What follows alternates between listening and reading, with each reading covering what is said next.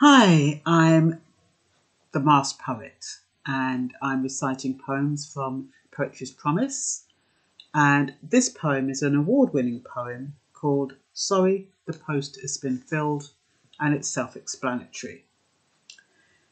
Before the interview, he was feeling so thrilled.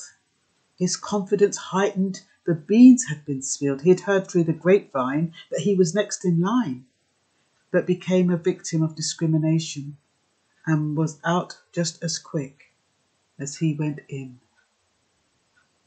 After the interview, the thrill was demolished, later reinforced when a letter was furnished bearing the contents that continued to tarnish everything he'd ever believed in. All of a sudden, tears started to spill. His hopeful mother asked if he's ill it's been detected that his hopes have been killed when he manages to garble. The post has been filled. He felt synonymous with a garbage sack only suitable for rubbish because he was black. Oh, there's some manual work if you want to come back in the morning. Or why don't you try working at McDonald's? You might find that rewarding.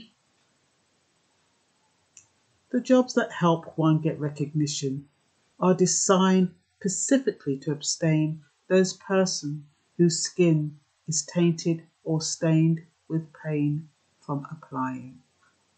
Discreetly applied through classification on the notice of application, a little box stipulates name country of origin and then to re-verify what country do your parents come from? Is this their way of keeping us in our place? Are these the trials we continually face constantly forever being displaced because we're a part of a historical black race. What a way to take away our dignity. What a way to hold us down economically. And then you have the gall to declare that we're lucky that you allowed us to be over here. No wonder people react with hostility as desperately try to regain their dignity, each trying to maintain integrity in a system that advocates democracy, but instead they're forced to go on the dole, coveting others and losing control.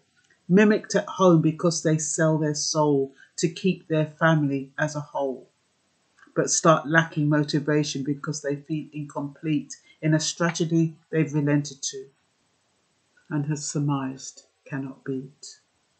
What a way to confiscate my dignity just because you have the power to choose her and not me. You're forcing our parents to work until they're weak. You allege there is deficiency in the way that they speak, but the education you give them is not one that they seek, but a tactic designed to confuse and belate the awareness of a race that is learning to hate. It's no wonder there's so much blood being spilled. It's no wonder that injustice is making us ill when there's constant rejection by an insensitive nation that thrives on the thrill of saying, the post has been filled.